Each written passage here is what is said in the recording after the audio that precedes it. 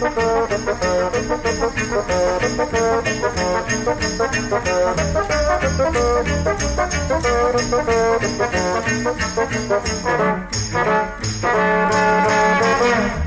wieczór Państwu.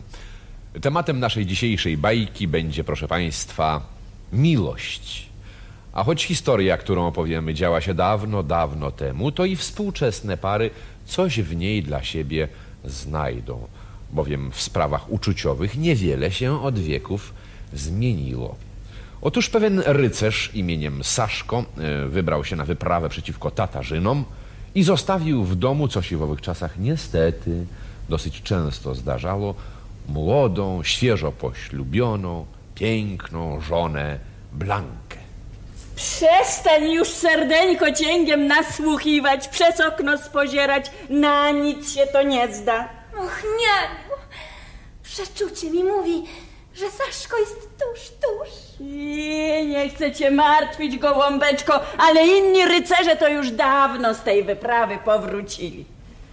Więc ani chybi musiało się coś twojemu małżonkowi przytrafić. No. Lubo go Tatarzyni w jaser wzięli, lubo zbójcy po drodze napadli, lubo też zapomniał o tobie i z jaką inną białogłową, jak to panowie lubieją. Nie mów tak, nianiu. Nie mów. Saszko okrutnie mnie miłował i nigdy by mnie nie rzucił. O, każdej młodej żonie tak się wydaje.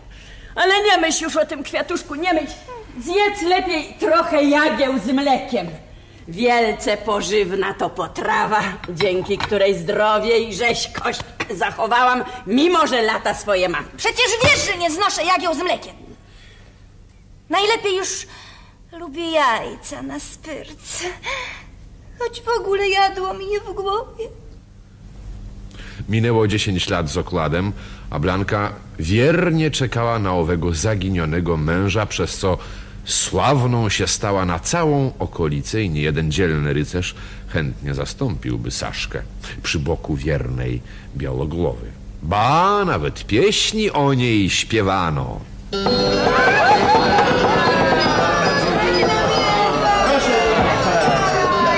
Hej, rybałcie! Napijże się i zaśpiewaj coś ku serc rozweseleniu.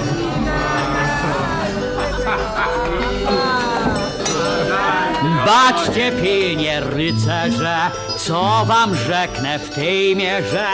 Dużo niewiast jest na świecie, ale drugiej nie znajdziecie, co wierności dochowa, tak jak pani Saszkowa. Wilcy wyją wicher dmie, białogłowie samy źle, lecz choć mąż jej przepadł w dzieści, ona swojej czci nie wieści i bez zamków i bez krat pilnie strzeże tyle lat. Za swym Saszką roni łzy i po nocach o nim śni, a choć wciąż ma gładkie lice, sama w pustej śpi łożnice, jako gminna niesie wieść, a więc cześć tej paniej, cześć. No to strzemiennego, na mnie już czas. Życzę waszmościom przyjemnej zabawy. Ciekawe, dokąd tak śpieszno było temu rycerzowi?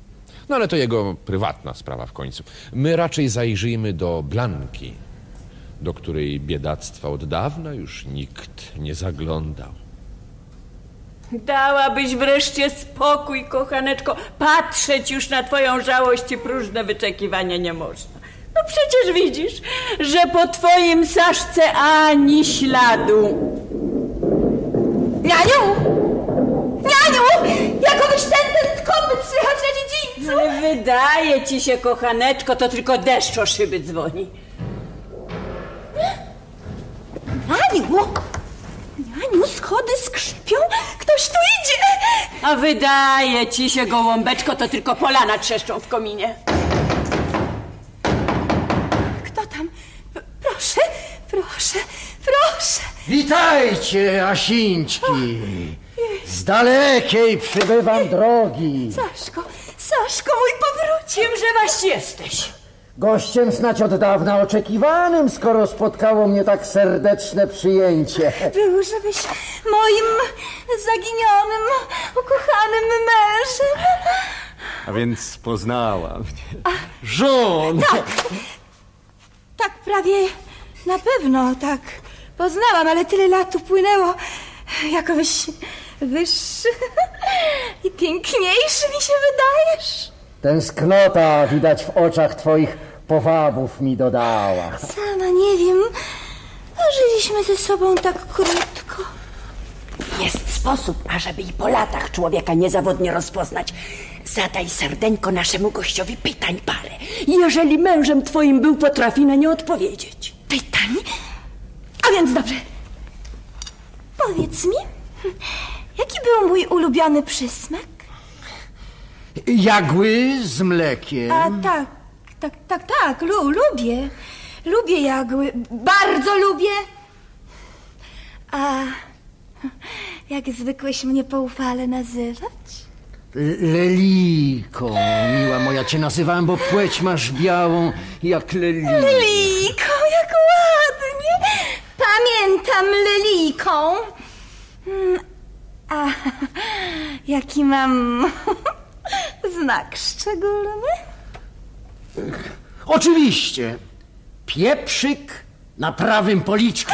Tyżeś to, Pozwól no, pozwól no, kochaneczko, wszakże ty nie znosisz jagieł z mlekiem. Nie masz żadnego pieprzyka na policzku, jeno muszkę sobie dzisiaj przykleiłaś do ozdoby. A co do tej leliki, to twój Saszko mówił do ciebie ty... Aniu, nie zrzęć, stara już jesteś i nic nie pamiętasz. Ach. A jak państwo sądzicie, był to zaginiony Saszko czy nie? Ciekawy dylemat. Jeśli idzie o Blankę, to choć tak zdecydowanie ucięła wątpliwości wyrażone przez nianie, to nurtowały ją jednak i one od czasu do czasu. Ten sam ci to, czy nie ten sam? Wszakże Saszko gulę miał na przez dziesięć lat przecie mu zniknąć mogła.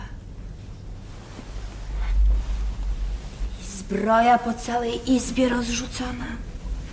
A mój małżonek akurat nie układał. A, ale tyle lat z dala od domu wśród niewiernych przebywał, że i porządku mógł się oduczyć. On ci to, czy nie on ci? Leliko, Ci to, ci. Wstawaj, wstawaj, śpiochu, czas na śniadanie. zaraz, zaraz, jeno obmyć się trochę muszę.